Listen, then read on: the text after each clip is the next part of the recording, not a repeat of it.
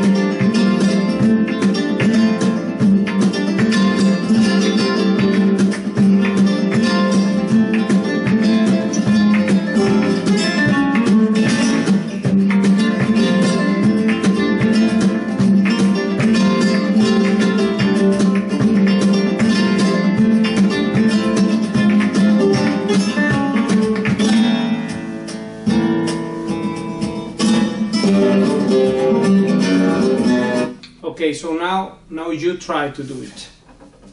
You do it.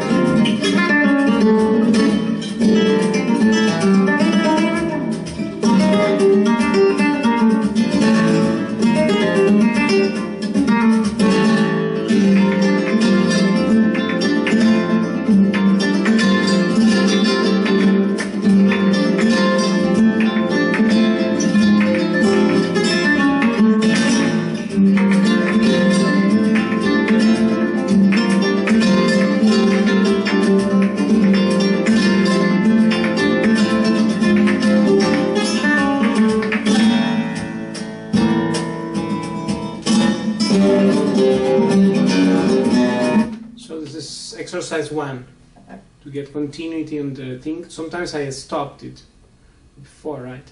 And there, there is ways to play it because actually the falsetas uh, had a pause in certain parts, like